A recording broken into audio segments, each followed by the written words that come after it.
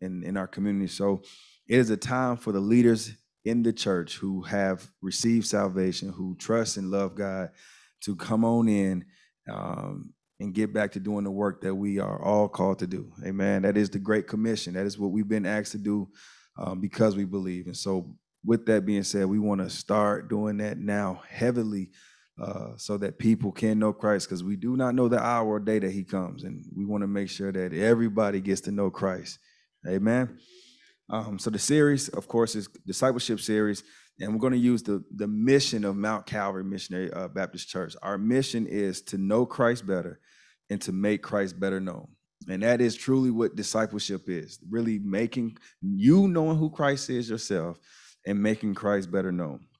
Our foundational scripture, for those who taking notes, our foundational scripture is coming from John chapter 4, verses 1 through 42. All right. For those who are online with us, um, we are going to be studying um, John 4, verses 1 through 42 for the remainder of these weeks as we talk about discipleship.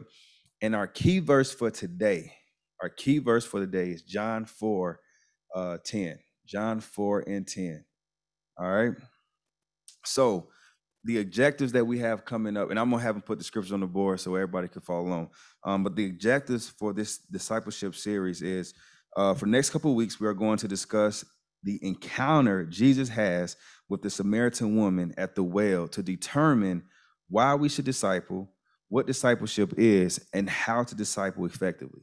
So for these next couple weeks in John, we're going to talk about Jesus' encounter with the Samaritan woman and why and what discipleship, uh, what what discipleship is, how to disciple, and um, why we should do it. All right. The next objective uh, for these next couple weeks, uh, uh, we all will become kingdom leaders at Mount Calvary Missionary Baptist Church, developing our capacity to lead. Okay, we're going to become the uh, kingdom leaders. We all are going to become kingdom leaders. We all are going to become kingdom leaders. We all are going to become kingdom leaders. That means everybody has to play their part for those online, we all are going to become kingdom leaders. And we're going to become kingdom leaders to do what? To develop our capacity to lead others, to actively participate in the ministry, to uh, serve the body of Christ with our gifts while we are we doing all of this while we are looking for the next shepherd of Calvary Missionary Baptist Church. I want to repeat that one more time. We all, those in this building, online, we are going to become kingdom leaders. That's what the series is about becoming kingdom leaders so that we can develop our capacity to lead others, develop our ability to participate in ministry ourselves so that we can grow and share what we know and to serve the body of Christ in this building and any other building outside this building in the community whatever case may be we're going to do all of that while we are searching for the next shepherd of Mount Calvary Missionary Baptist Church. Is that okay to do? Are we okay with that? All right, because listen here, the the the show don't stop, the ship keeps rolling, and we have all agreed that we're going to move forward. And so moving forward doesn't mean we sit here and complain and throw rocks and wait. Moving forward means we actively participate in building Mount Calvary, no, I'm sorry, building the body of Christ and presenting Mount Calvary as a place that people can come to receive Christ Jesus. And so we go all do that with all our gifts and until we get a shepherd and when that shepherd gets here. Amen. Okay. The last objective for this Bible series is we will measure ourselves to Christ and work on areas of growth through the word of God. So we all know we're not perfect. Is that an understood uh, uh, uh, point about all of us? None of us in here perfect. So that means we have areas of growth. And we use that in corporate world to say, instead of saying weaknesses, we say areas of growth, right? Uh, so a place that you struggle in, and it might be studying, it might be prayer, it might be interpreting the scripture. It might be dealing with conflict. It might be loving. It might be not allowing your biases to uh, determine how you look at someone else. These are areas that you have to grow in, and you need Christ in order to do that. And so Mount Calvary is the hub for a, a for those who choose to be a body, a member of this church, for them to come receive Christ so that they can know Christ better and make Christ better known. So we all in here are going to learn how we can individually grow so that we can be great disciples for Christ Jesus. Amen. All right. So I'm trying not to rush because I want to make sure we have time because it's a lot. And you know I love Bible, I love Bible study. I man, an hour ain't enough. All right. I'm going to read John 4, verses 1 through 42. All right. It's a lot of verses. We ain't go, we're not gonna go through all of them today, but I want to give you a, a, a great picture of where Jesus at and how we can use this for our um, mission to become great disciples and disciple this lost world. Okay, I'm gonna read from the NLT version, and uh, yeah, and you can definitely see it on the King James version. Um, yeah, so I'm gonna start at verse one. All right. Jesus knew the Pharisees had heard that he was baptizing and making more disciples than John, John being John the Baptist. Though Jesus himself didn't baptize them, his disciples did. So he left Judea and returned to Galilee. He had to go through Samaria on the way. Eventually, he came to Samaritan village of Sychar near the field that Jacob gave to his son Joseph. Jacob's well was there, and Jesus tried, and Jesus tired from the long walk, because he remember he's coming from uh, he's trying to get to Galilee, and he's going through Samaria, uh, Samaria. So it's a long walk. He sat wearily beside the well about noontime. Soon a Samaritan woman came to draw water, and Jesus said to her, Please give me a drink. He was alone at that time because his disciples had gone into the village to buy some food. The woman was surprised, for Jews refused to have anything to do with Samaritans. She said to Jesus, You are a Jew, and I am a Samaritan woman. Why are you asking me for a drink? Our key verse today says, Jesus replied, If you only knew the gift God has for you and who you are speaking to, you would ask me, and I would give you living water. Okay? Verse 11, but sir, you don't have a rope or a bucket. You don't have the tools to get the water. and this well is very deep. Where would you get this living water? The lady asks uh, Jesus. And besides, do you think you're greater than our ancestor Jacob, who gave us this well? How can you offer better water than he and his sons and his animals enjoyed? I can't stop. Let's keep going. 13 says, Jesus replied, Anyone who drinks this water will soon become thirsty. Again, but those who drink the water I give would never be thirsty again. It becomes a fresh, bubbling spring within them, giving them eternal life. Verse 15 says, Please, sir, the woman says, give me this water. Now, now she, Jesus, thank you. Now she like, all right, give me this. Forget you ain't got no tools. Remember, she said he had no tool, no bucket, now she's saying, give it to me. I don't know how he gonna give it to you, tool, the bucket. Verse 15, uh, verse 16. He says, Go and get your husband. Jesus told her, uh, verse 17, I don't have a husband. The woman replied, Jesus said, You are absolutely right.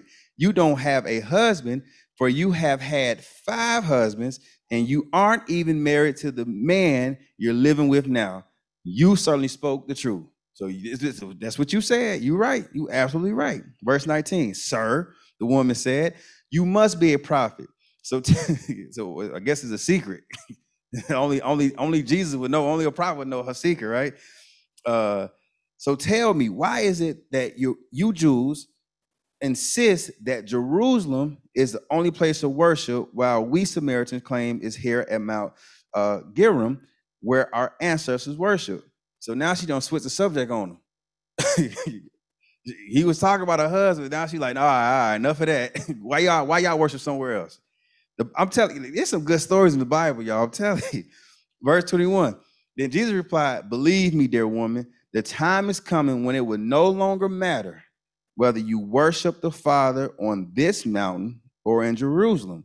You Samaritans know very little about the one you worship, while we Jews know all about him, for salvation come through the Jews. Jews. But the time is coming, indeed, it's here now when true worshipers will worship the Father in spirit and in truth. The Father is looking for those who will worship him that way. For God is spirit, so those who worship him must worship in spirit and in truth. I'm almost there. The woman said, I know the Messiah is coming, the one who called Christ. When he comes, he will explain everything to us. Then Jesus told her, I am the Messiah. Verse 27. Just then his disciples came back. So now they done brought the food. They were shocked to find him talking to a woman, but none of them had the nerve to ask, What to you? I mean, what do you want with her? Or why are you talking to her? The woman left her water jar beside the well and ran back to the village, telling everyone. I said I wasn't gonna stop, but this is a key point. What did she go to the well for? Who said he could give? Well, I'm just told you. Jesus said he can give her what? Living water to where she don't need what kind of water? A physical water, right? So Jesus says, I'm gonna give you living water. She's talking about, all right, how? How you gonna give it to me?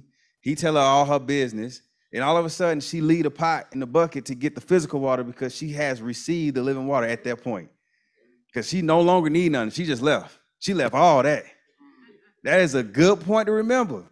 She came there for something, got something else, and left. And then this what she did when she left. Uh, the woman left her. Okay, verse 29. Come and see a man who told me everything I ever did. Could he possibly be the Messiah? So the people she's talking to in verse 30 says, So the people came streaming from the village to see him. I got to see who you talking about. All right. Meanwhile, the disciples were urging Jesus, Rabbi, eat something. Jesus, like, hey, I have a kind of food you know nothing about. Verse 33 Did someone bring him food while we were gone? The disciples asked each other, and Jesus, he's so smart. He says, My nourishment comes from doing the will of God who sent me and from finishing his work. You know the saying, four months between planting and harvest. But I say, wake up and look around. The fields are already ripe for harvest. The harvesters are, are paid good wages, and the fruit they harvest is people brought to eternal life. It's er, The church say discipleship. Discipleship. There we go. What joy waits both the planter and the harvester alike? Verse 37. You know the saying, one plants and another harvest. And it is true. I sent you, you, you, you, you, you, you, you, you, you, you, you, you, you, you, you, you, you, myself, and everybody online. I sent you to harvest. For it's already ready. The fields are ready ripe for harvest. The harvesters are paid good wages. I'll go, go to verse 37. You know the saying, one plants another harvest, and it's true. I sent you to harvest where you didn't plant. Others had already done the work, and now you will get the to gather the harvest. So I'm going to send you to a place where you don't have to work. You just have to get it. I've done everything. You just got to get it. So then, verse 39 many Samaritans from the village believed in Jesus because the woman has said, check this out. Many Samaritans from the village believed in a Jew because the woman had said, He told me everything I did. When they came out to see him, they begged him to stay in their village. So he stayed for two days, long enough for many more to hear his message and believe. So the woman who went to the well for water ended up leaving to go tell people about the Messiah that she met. So they came to hear about this Messiah. And this man was speaking so good. They say, hey, stay two more days, stay. For two days he stayed preaching his message. Verse 42. Then they said to the woman, Now we believe, not just because of what you told us, but because of what we have heard ourselves. Now we know that he is indeed the Savior of this world. All of that describes what discipleship is. This woman encounters Christ, not on purpose, not because it was church service that day, not because it was Bible study, not because it was a planned conference or a revival. She was actually going to meet a physical need that she had water. She was going to meet a physical need. That's like us going to Walmart or going to the bank or going out to eat. You were going somewhere and you went there, and all of a sudden you meet this individual who tells you about Christ. And then you went there for groceries and like, wait a minute. Hold on. I'll be right back. Man, got on your phone. Hey, y'all. I, I know we been talking about other stuff and going through this and dealing with this, but I just heard the most best message I can ever think of in my life. Come to me to Jewel-Osco real quick. Just come. They got a sale, but just come. And you get there, that person is there, and the people that you told about, that individual that's sharing their testimony about Christ, talks to them individuals about Christ. And they say, you know what? Now I know who Christ is. Hey, what church you go to? Oh, I go to Mount Calvary. When's y'all service time? 10 o'clock in the morning? I'll be there.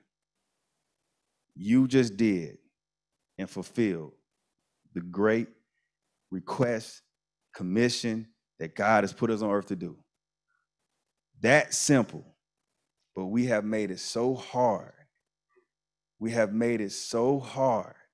We have made it so hard because we did we, and we're going to talk about this, we determine what is the way we should disciple people we look at someone's skin color and say because they don't look like me or sound like me or talk like me or because they just came out of prison or because they smell this, that, and the other, mm, I'll pass on that one. Right? We have been so focused on building good churches, look pretty, smell pretty, clean and polished, but yet we ain't got people in the churches. And then soon as something goes wrong in the church, we scatter.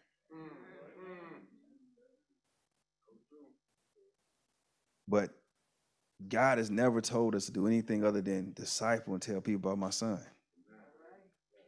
Where why did we lose that focus? Why did we lose that focus? The enemy has made it so good for us to focus on things that have nothing to do with Christ. And because of that, because we're so lost in everything else, we have lost focus on the foundation of everything that's built on Christ Jesus. And that's that's too bad. But then I, I, th- I think about Christ and what he did for us. I think about the forgiveness and the grace and mercy he gives us. The fact that we are here today to hear this message.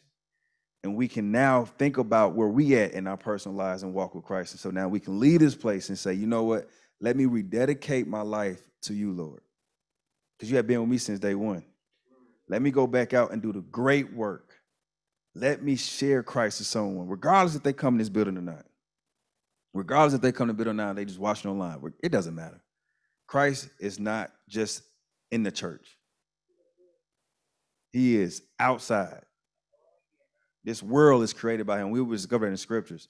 But Mount Calvary, the purpose of the series is for us to get back into doing that because until then, that's what we here to do. We discovered our purpose is to conform to the image of Christ. And then whatever we do outside of that is because we conform to the image of Christ if we want the building of Mount Calvary to have souls in Mount Calvary, then we, the people of Mount Calvary, to go out into this world and disciple the lost. Disciple those who are mm, in between, or I don't know if I want to do this or not. Disciple the ones who have been hurt by the church. Amen. That's that's the point of this whole series. And and the reason why it's so so strong in my heart is because we find our place at a crossroad. And if we focus on all that happened to get us to the crossroad, we will miss out on the people that are left stranded without anyone to help them know who Christ is. That's what you're here to do. If you don't do anything else, just to let people know who Christ is is a beautiful thing. And God wants us to do that. So I pray that as everybody in the church that we focus on doing it. So, kingdom principles. You are I'm always share kingdom principles. All right. These are standards, biblical standards that we find in the word. Discipleship is about using your personal life experience with Christ to encourage and lead people to meet Christ, believe in Christ, follow Christ, and share Christ with others.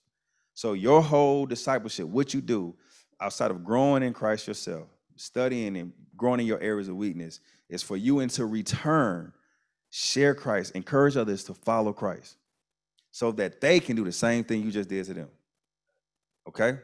We, we you read in the first verse of, of four, uh, the Pharisees worried about how many the disciples that Jesus got based off of what John the Baptist did. They worried about the wrong thing. And and Jesus said he didn't baptize none of them. His disciples did. That's leadership. I give you, I don't hold the authority. I give it to you and allow you to use it, and you do the same thing for somebody else. That's influence. Right? So all of us in this room if you influence one person, that person influenced somebody, you have touched two lives just by touching the one life. Imagine how this church would be full. We wouldn't have to worry. We'll be back in the day over in in, in Old Faithful, you used to put chairs on the side. It was just not enough room. Right? You you can build your church by building other people. We don't have to we don't have to build a new church for people to come. We got to build our, our capacity to lead people to Christ. And that's what we're going to see in, in these verses. Discipleship is not recalling the sin or shortcomings of other people, it's love in action, it's grace in action. It's to remember your journey to discovering Christ in your life. So when people return to the church from not being here a while, don't remind them how long they were not here. Don't remind them about the church protocols. Don't remind them about what happened and how we got to this point just love them. Our time of discipleship has nothing to do with why they ain't been in church for us, however long they have. Why they out here smoking and drinking and having sex and this, that, and the other. It, that ain't your business. That ain't your business. Discipleship has nothing, it, it, there's no requirement to say, hey, because you did this, let me disciple you. No. Let me love on you. Yes, sir. Thank you for using the mic. Please use the mic today because it, it, will help our, our online uh, well, listeners. We, we've got so far into thinking we can change people. And, and that's not the job Christ has us to do. He said, bring them to me. Absolutely. So that I can change them. Absolutely. But we get so caught up in what we can do for somebody. And if they don't do, because I've been in the church so long, and if you don't do this, then Christ's not going to hear from you. That that's not what the Bible says. It says, "Bring them to me so that I can change them." Absolutely. That's what the, this what the Bible's for. He didn't tell us to be the Bible. He said, read the Bible, study the Bible, use the Bible, not be the Bible. Right? Our job is to get people to Christ. That is that's it. Let me get you to the person that could change your life because he has changed minds and I'm still growing and becoming better. So you ain't alone. You're not gonna figure this out in one day. But if you do, go write a book about it. Help some people, because I'm telling you, it's it's a it's a daily walk. Okay. All right. Discipleship is getting people to follow Christ, not you or this church. I'm gonna say that again. Discipleship is about people following Christ, not you and now Mount Calvary. We want to create the church where people want to be members of so that they can grow and be a part of the ministry, serve using their gifts to serve others and using that expertise and fields that we can use to benefit the, the ministry of Mount Calvary for equipping people to become like Christ. But we don't disciple people just so they can be members here. We disciple people so they can know who Christ is. I like what Paul says in Corinthians. He said, Y'all over here divided. Y'all over here worried about who baptized who. Apollos baptized this, Christ baptized this, I baptized, and Paul said, Mm-mm, I'm a, I baptize you, you, and you. Uh, now, that's all I know about baptizing. But it ain't about who I baptize, it ain't about who they baptize, it's about Christ. So it's not, you know, come be a a, a, a baptizee of Calvin Works and then go to no, it's about Christ. Because Calvin can change. Calvin can flip the script. Okay, Calvin can just decide, he, hey, today I just don't want to be about my father's business. I am not exempt from just flipping the script. One day I could be on fire, one day I just, mm, that ain't it. So I don't don't be baptized on Calvin Works. Because the moment I feel like not being Calvin, you struck. So it's important that we lead people to Christ. Okay? All right, so let's talk about verse 10. Nope, nope, I'm going, sorry. All right, so so far we have read the whole encounter that Jesus has with Samaria, the Samaritan woman at the well. All right, so we know Jesus traveling to Galilee through Samaria. Uh, going through Samaria is the quickest, most effective way to travel to Galilee. All right. Now the Jews don't rock with the Samaritans. They they just don't they don't get along. All right. They the Jews feel like the Samaritans are or they are half breeds because they are a combination of a Jew and a Gentile. So they just came together and just made one. And that when you read the Old Testament, that's when you start the Assyrians and the Babylonian, and that captured everybody. Like that's why it's important to read that because you understand why through salvation is through the Jews because Jews were pure. They never changed. There was another group, the Samaritans, half Gentiles, half Jews, changed the dynamics of things. Northern Kingdom, Southern Kingdom. It's all right. We go. We'll study that stuff in seminary at Mount Carmel Baptist Church one day. But it's important to understand why the Jews did not rock with the Samaritans. So the Samaritans, like, since y'all don't rock with us, we're gonna create our own place of worship. We're gonna create our own way of doing religion. We're gonna do our own thing. So them two people are at odds, okay? Um, and so the encounter, when we read verse seven through nine, uh, Mr. Shell, uh, John 4, 7 through 9. So it says, Soon a Samaritan woman came to draw water, and Jesus said no to her. I'm sorry. Soon a Samaritan woman came to draw water, and Jesus said her, Please give me a drink. Verse 8 He was alone at the time because his disciples had gone into the village to buy some food. This woman was surprised, for Jews refused to have anything to do with, Samar- to, with the Samaritans. She said to Jesus, You are a Jew, and I am a Samaritan woman. Why are you asking me for a drink? so there's some key points in that that we want to talk about in discipleship, okay? The first point is Jesus shows us two important facts about discipleship. First, love is a requirement. We can disciple people to Christ. We cannot disciple people to Christ. We hate. If you don't like somebody, you cannot disciple them to Christ because Christ is love. And even if you do hate them, you're not even gonna spend time to even talk to them to get to know them or see how they feeling. You're just gonna walk past them. You ain't gonna have nothing to do with them. That's not discipleship. Jesus, by by historic nature, is a Jew, and he's coming to the Samaritan woman. He could have literally sat in that well and waited for disciples to come in and had no business dealing with her. He could just sat there and say, I'm just gonna wait. Don't say nothing to her, don't talk. But Jesus gives us the example because he is our model, right? Of what to do when you are discipling people. You do not look at race.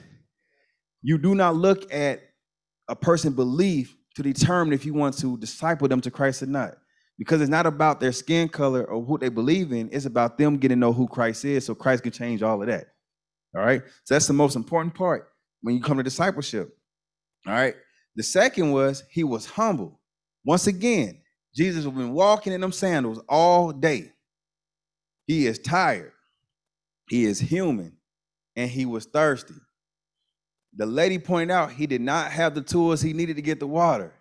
So instead of him being prideful, he said, Hey, can you give me some water? Now, let's go back to this. Once again, the Jews do not rock with the Samaritans. Jesus' disciples then went and got some food. Jesus could have sat there on that well and just just waited till one of his disciples came with a bucket and a rope. But he decided to encounter this woman. And I believe through scripture that this was a divine moment. This wasn't just some random act, this was divine. And I'm glad it's divine because it shows us how intentional he was of doing the Father's work, which was sharing himself to others. So we have to be that intentional it will be lovely that we have a, divi- a diverse church. All right. it'll be lovely that we have all types of people in this church. It will be lovely because there are different perspectives that we can learn from and use to help the ministry to move forward. The body that Jesus is known as the head of the body. It does like there's fingers, there's toenails, there's toes, there's kneecaps, old kneecaps, new kneecaps, elbows, hip replacements, no hip replacements. It's full of everything. And the church should look just like the body. Yeah, that's quiet. Y'all don't y'all don't agree with that? I understand if you, you feel that way, but I'm telling you, any church that is diverse can move a lot, a lot forward, a lot faster forward than a church single-handed just with one group of people. It, it, it, it can. You go work for these factories, CSL. It ain't all black folks.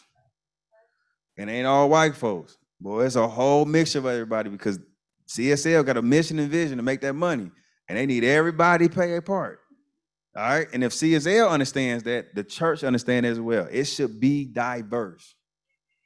Christ did not die for just one selective group. And Jesus shows us that he's going to break the barrier between Jew and Samaritan, Israelite and Gentile. Everybody's a part, okay? So then the second point we read in verse 10, where he says, Jesus replied, If you only knew the gift God has for you and who you are speaking to, you will ask me, and I will give you living water. All right, so what does that mean? Jesus says, There's a gift for being with me, bless you. He says, If you knew he was talking to you, you would know who was able to give you the living water. And the living water represents something. So, what are these three things that we need to understand so that we can disciple better? If you don't mind, if you have your Bibles on the on the on TV screen, let's go to Acts chapter 2, verse 38. And I'm going to read these in the King James Version when they're on the screen. Acts 2, verse 38.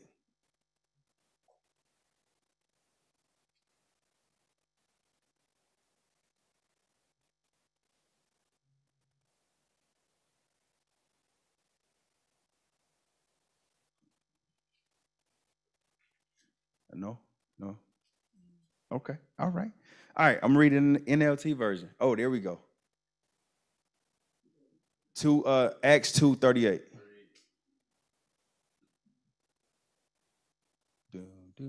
How y'all doing so far? Is This good? Any questions, any comments, criticisms right now? Okay. All right. Acts 2 38. Go back one verse for me. There we go. Peter replied, Repent and be baptized, every one of you, in the name of Jesus Christ for the forgiveness of your sins, and you will receive the gift of the Holy Spirit. What is the gift? The Holy Ghost, the Holy Spirit. So Jesus says, if you knew who was asking you for water, he would give you the gift of God he you will know who you're talking to, and you have living water. So we know the gift of God is what? The Holy Spirit. All right.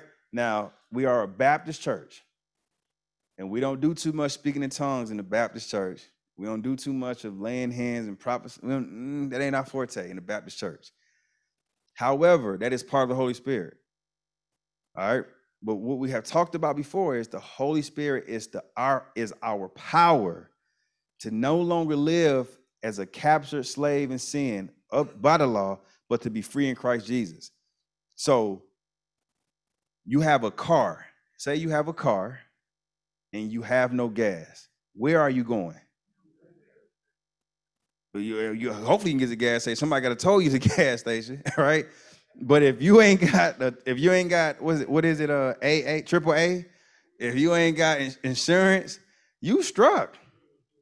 So you a car just just and you a brand new car at that, just nice, just real nice, like a navy blue Cadillac that I know somebody got, I believe. just nice, shiny and nice, right? And you ain't got no gas. You ain't going nowhere. That's the same as being a saved individual without the Holy Spirit. You ain't living for nothing you gonna still go back to how uh, if I work this job, these I gotta get 60 hours this week. if I do overtime this week, now I called my auntie for this. I had enough money to get through. Right? That's that's living out the Holy Spirit. Living with the Holy Spirit is you resting and peaceful. You have no worries and no concerns. You operate in a way that you could never do on your own because the Holy Spirit is the power that you are missing. That's why many people have salvation and are still living miserable. They come to church hoping to get something new. Lord, please answer my prayers. And then they feel like he ain't answering their prayers because they, they're like, wait, maybe it's maybe it's not good for me to have this. Maybe the job I've been praying for ain't. No, you ain't led by nothing because ain't nothing in you. The Holy Spirit job is to lead you. It's to talk to you in the words that He hears Christ, so He can tell you. So because you don't have the Holy Spirit operating in you or upon you, you are leading yourself. And when we lead ourselves, I don't give a care how many degrees you have. I don't give a care how old you are. I don't give a care what you know, what's in your savings account, how, how good you set up. You are limited to that because that is your source. But when Christ is your source and he has given you his power, which is the Holy Spirit, not only can you be the brand new Cadillac driving, but you can drive as far as you want to go because it's not you leading yourself, it's the Holy Spirit. So many of us are living lives that are defeated. I was one of them. Defeated. Trying to count this, trying to, if I get this job, oh, if I get this job. So I'm praying hard, Lord, I'm praying for this job right here. And God, like, mm because you in your mind think that this money and this job is your source.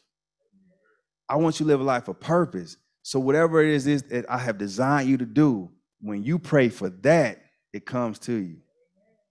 Now you being fruitful, it's just coming. People calling you, hey, can you do this for me? I sure can. That's the life Christ wants for us. That's the life of peace and rest. The old system makes us work. But Jesus made it to where you don't got to work. The harvest is plentiful, but the laborers are few. Matter of fact, that same verse says, the harvest is God. So I believe he's saying, my provision is made to where I send you, but you can't get there without the Holy Spirit. Which is why Jesus had an encounter with the woman at the well, not only for her sake, but all those Samaritans that came and for us today reading about how we can be better disciples in the world we live in. Amen? All right. All right. All right. So, uh, Deacon Shell, Romans 8, verses 1 through 17. We, we're still talking about the gift of God.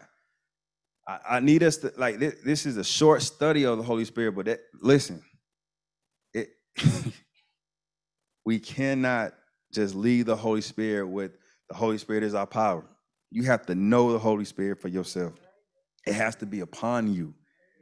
It really has to be upon you. Before Jesus went to fast, matter of, before he went to fast, he got baptized. When he got baptized, God coming there, oh, this is my son. Then it says he was filled, the Holy Spirit was upon him, and then he went into the wilderness, fasted. He couldn't have got through those 40 days without that Holy Spirit and we think we're gonna get through one day with the ability to eat, with the money to buy the food we want, and we think we're gonna get through. Man, please. I'm ready. Romans 8, Romans 8 1. There is therefore now no condemnation to them which are in Christ Jesus, who walk not after the flesh, but after the Spirit. Go to verse 2. For the law of the Spirit of life in Christ Jesus have made me free from the law, of sin, and death. Thank God for that. Verse 3 For what the law could not do, and that it was weak through the flesh, God sending his own son in the likeness of sinful flesh, and for sin condemns him in the flesh. Let me break that down real quick. God was like, Here, the law can only tell you that you're speeding fast, but it's not going to help you to stop speeding fast. It's going to tell you you're speeding fast, you get a ticket. So Jesus had to come on earth because he had to be in a human form. Legally, he had to be in a human form to break the curse that Adam gave us. Follow with me. Adam ate the fruit, sin came into the world. God created covenants with Abraham, Isaac, Jacob to get us to be in the right relationship, to have all the things that we need, but man just couldn't do it. God said, I already know I was going to take care of it and begin with, so I'm going to send myself in flesh, and I'm going to be the Adam. Christ is going to become the Adam, so that everything that Adam gave us, Christ is going to give us opposite of that. So he had to come on earth to do that, but he had to come as a human because legally he wouldn't have the authority to do anything outside of a human body because God told us to let them have dominion over the earth. That's in Genesis 1 26 and 28, if you don't believe me. Okay? Let's go ahead. Uh, four, that the righteousness of the law might be fulfilled in us who walk not after the flesh, but after the spirit. Five, for they that are after the flesh do think about the things of the flesh, but they that are after the spirit, the things of the spirit. Okay? For to be carnally minded is death, but to be spiritually minded is life and peace. That word peace means rest. To focus on spiritual matters is to have life, everything you need to survive on this earth, and the peace that comes with it.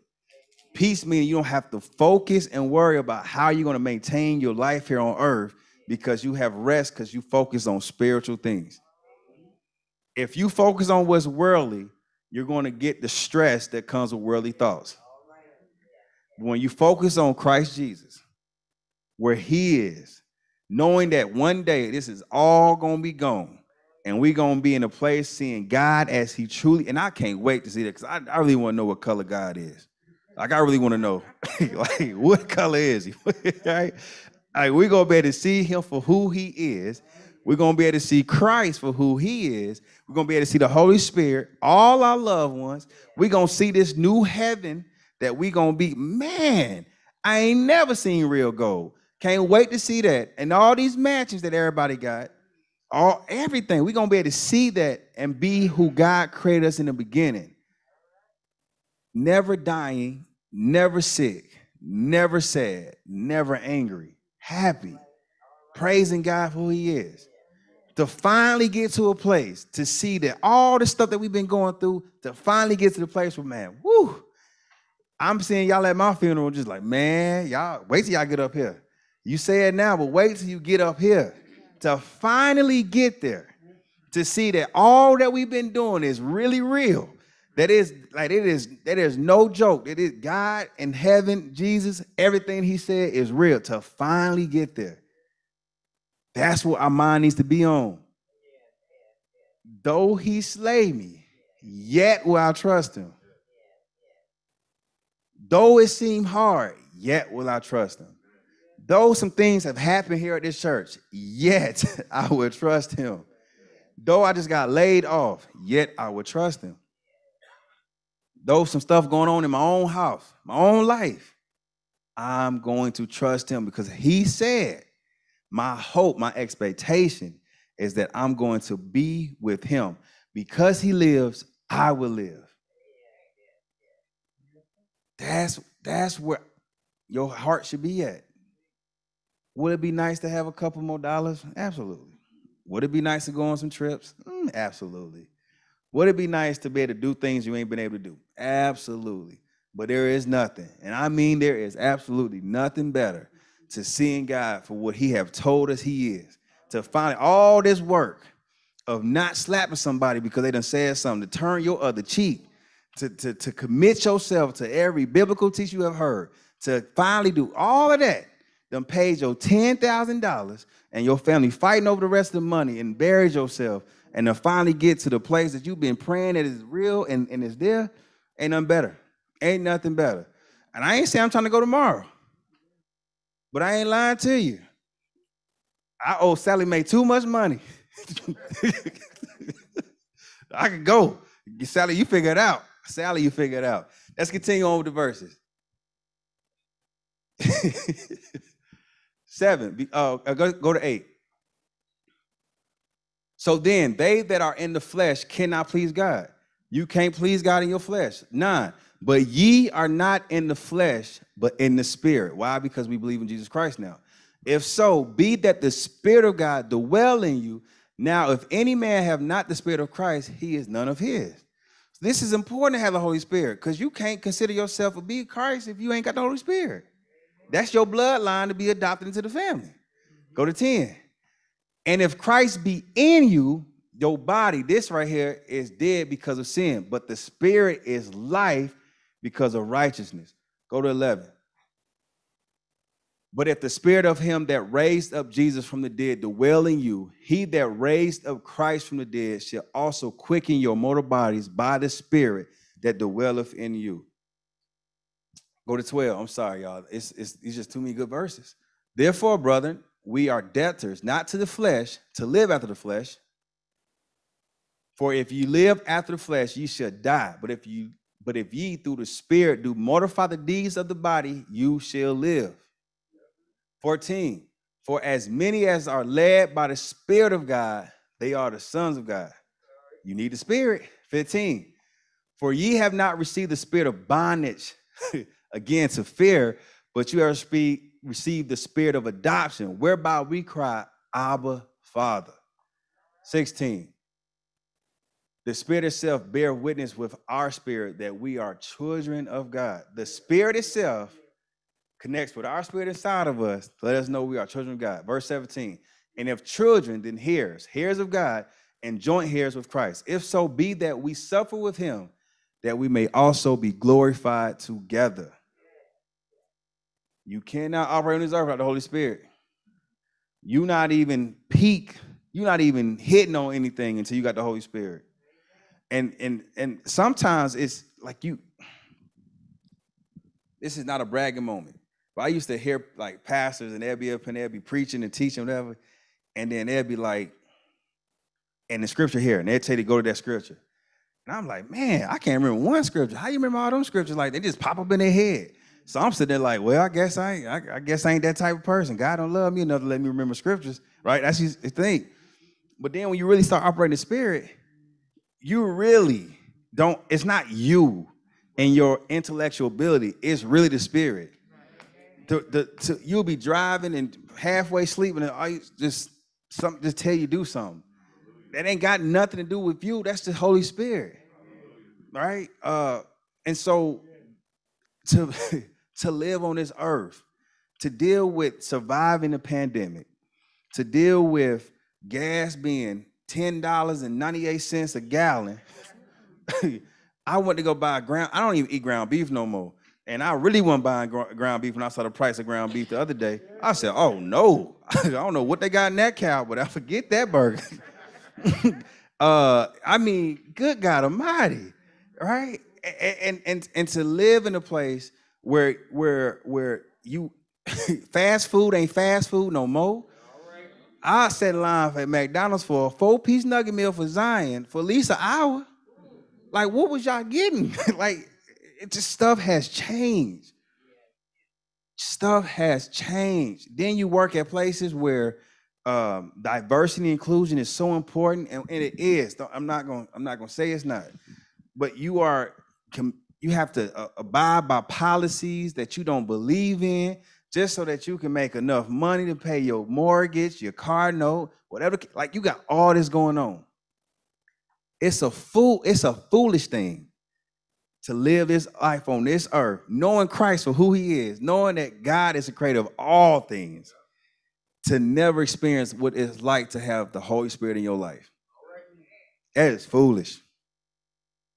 And we don't talk about enough in church. We don't talk about enough church because prosperity is more important. Name and claim is more important. You can't name none without the Holy Spirit. Think about this. Adam in the garden named every animal that came to him. You think he was just sitting here like, I ain't never seen a, a tarantula. That's a tarantula. That's a cheetah. No, that was the Holy Spirit. That's why when he got caught, the first thing he could do is, I got me go hide and go run. he even know to call a, leaf to cover me clothes. he, ain't had enough nerve to do that. That sucker ran in the head. So all that he knew was gone. He had to defend for himself. And instead of saying, Father, help me, that sucker head.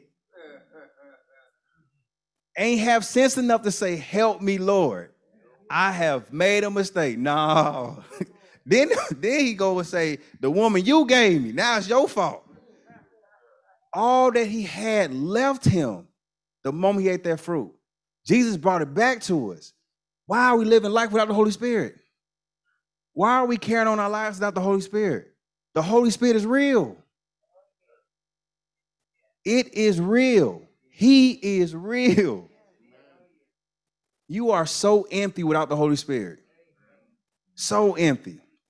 Uh man. All right, I'm sorry, y'all. Let's, let's finish this. Um, I know I'm gonna get this done. Uh let's go to who is Christ? Let's go to Colossians 1 15 and 23.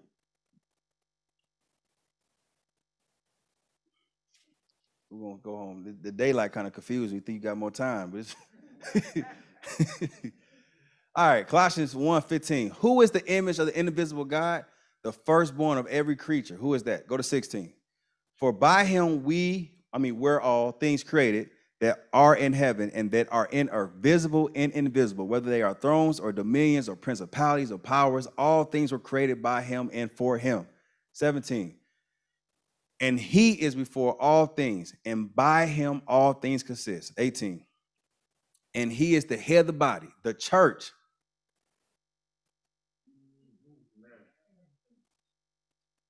And he is the head of the body, the church. Mount Calvary, Christ is the head of the body of this church. Who is the beginning, the firstborn from the dead, that in all things he might have preeminence. That he that we talking about is Jesus Christ. Everything is on the foundation of who Christ is. All right? That's what he told the ladies at the well. If you know who you're talking to, you would know I'm Christ. I can give you the gift by believing in me, and I and I am the person that can do it. Then he says, and you have access to living water. Let's go to uh, John 3:16. John 3:16. I don't I want I want to finish this so we can work on the next session. John 3:16 For God so loved the world that he gave his only begotten son that whosoever believeth in him shall not perish but have everlasting life. Jesus told the lady at the well, I am the individual who has the ability to give you water that you will never be thirsty again for. I have the gift, the ability to give the gift that God has for, which is the Holy Spirit, through me. And that Holy Spirit will give you the ability to live life in a life that you have never experienced before. Not on your own no more. Not the woman that had five husbands, but the woman who was free and who was now a new creation. Okay? All things are past, no longer condemned. That's the Christ we have learned ourselves. And if you have met that Christ and you have received the Holy Spirit, you need to let other people know that, especially the ones that don't like you, because them the ones that need Christ. And you could be like, "Hey, you won't you won't dislike me no more when you know Christ." Now I got to worry about you hating on me. I, I can worry about you loving me, and then we can go work on some other people. All right. So I'm gonna end it like this. I'm gonna conclude like this. Man, it was. Conclusion is this: put all this together. Discipleship is leading. Leading is impacting, influencing people, adding value to people to follow Christ. You cannot lead people if you cannot add value to them. That means you, if you're not making a difference in their lives, they're not going to see you as someone they want to follow.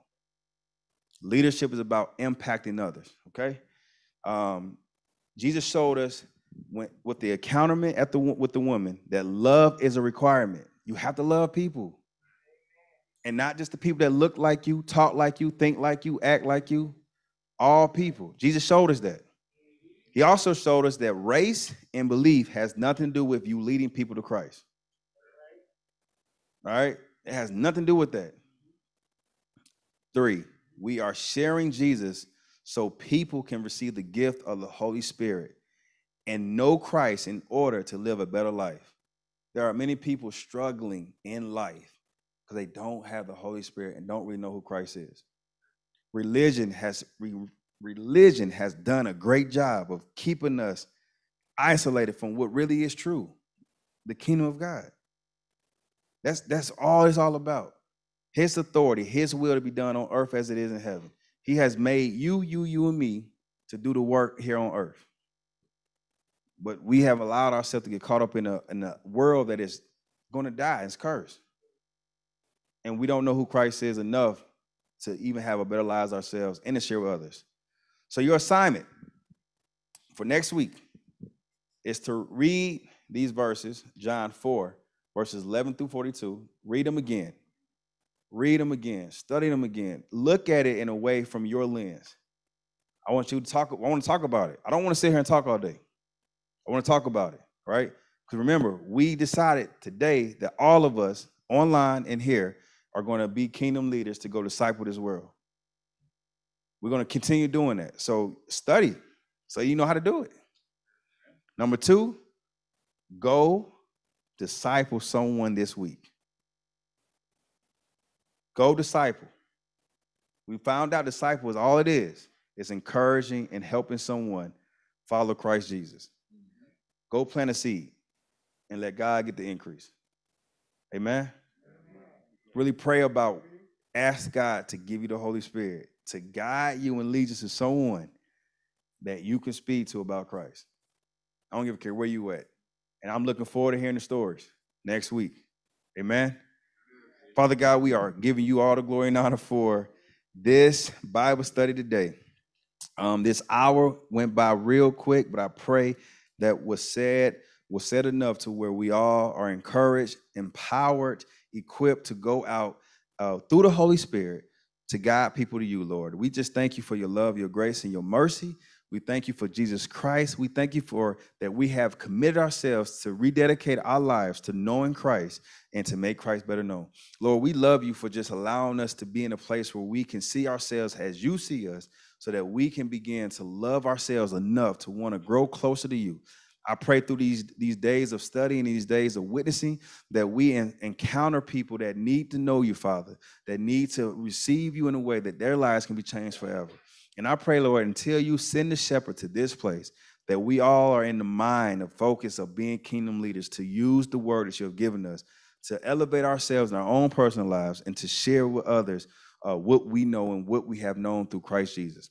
I ask now in the name of Jesus that the Holy Spirit fall fresh upon us individually, empowering us to live the life that you have created us to live, to do what you have called us to do, to have dominion over the works of your hand, to live with empowering uh, abilities to help and heal, to set free, to let the blind see, the uh, deaf to hear, Lord. We are asking you to let the miracles follow the spirit that you have put inside of us for your glory. So people know through a pandemic, through high gas prices, through no jobs, whatever the case may be, that you are the most high God, that you still have power in your hand, that even in a desert place, we can still blossom and cherish and, and have great life.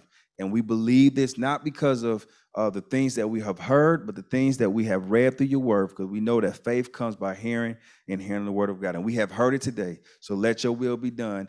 In the name of Jesus, this church says, Amen. amen. All right. I'm believing, but I'm going to ask is there anyone here that don't know Christ?